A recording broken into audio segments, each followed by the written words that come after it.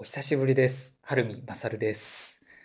いやー、馬の心臓、やばいですね。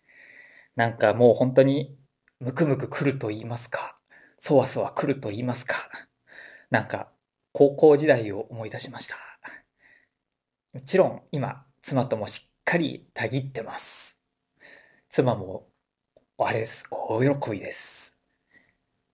あの、本当に、翌朝の疲れが気にならないと言いますか、なんかスポーツをしている人にもおすすめだと思います。とりあえず言えることは、僕はたぎりで人生が変わりました。はい。